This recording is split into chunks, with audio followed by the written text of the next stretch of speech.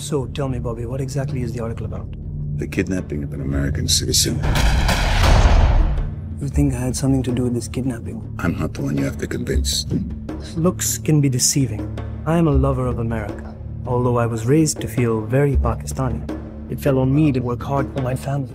I left to go west, where I was welcomed with open arms.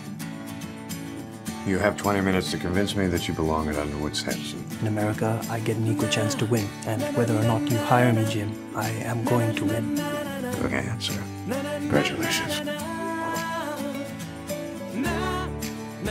at this. Okay, so all these pictures of me, got to have a little crush on लगता है आजकल दौर अपना what exactly do you do at the end of Underwood? We help companies to increase their value. You have a gift for this. A very lucrative gift. You picked a side after 9 11? I didn't have to. It was picked for me. Step over here, sir. So, is there a problem? He's an employee. Follow me, please. Have you ever been a member of a terrorist organization? How do you feel about the United States of America? Agent Ford, I love the United States of America. Violence had wormed its way into my life. Go down to that office and you do the job you were hired to do!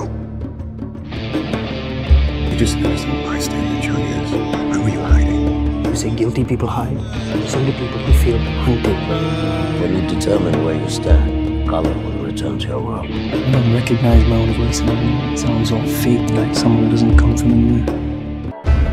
इस लोकतंत्र में सबको समान अधिकार है हम merit में विश्वास रखते हैं आरक्षण में नहीं You're gonna get us both killed. We don't have to like each other, we just have to get the job done. Are you trying to accuse me of being a casteist?